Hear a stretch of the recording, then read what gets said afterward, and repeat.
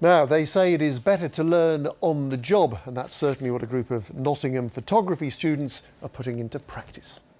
They are. They've set up a photography agency thought to be the first of its kind outside London, and they've already landed a number of shoots, as I've been finding out.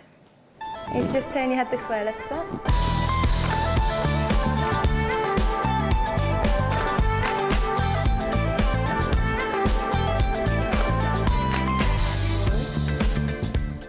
Practice shoot with a fellow photography student, but it's rapidly becoming a thing of the past. This group from Central College Nottingham have set up an agency, which is thought to be the only one outside of London. So far, they've captured shots for a variety of professional clients.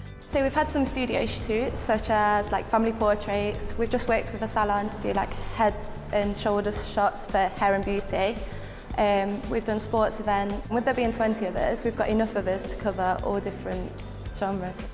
Now, the students do get paid, but the money doesn't go into their own pockets. Instead, it's put into a fund which is used for things like buying new equipment, going on photography trips, and putting on more exhibitions.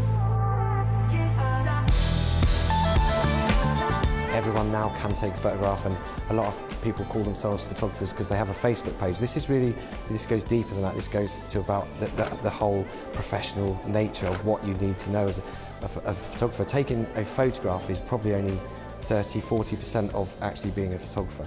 Well, I was soon made a potential client. Do you feel pressure because it's not just your friends, these are mm. clients essentially? Well, it's a lot different. So nerve-wracking at times, but it makes you work harder because you don't want to mess it up because it's just for them. Tonight is the agency's official launch, and cameraman Mark and me certainly give it the thumbs up.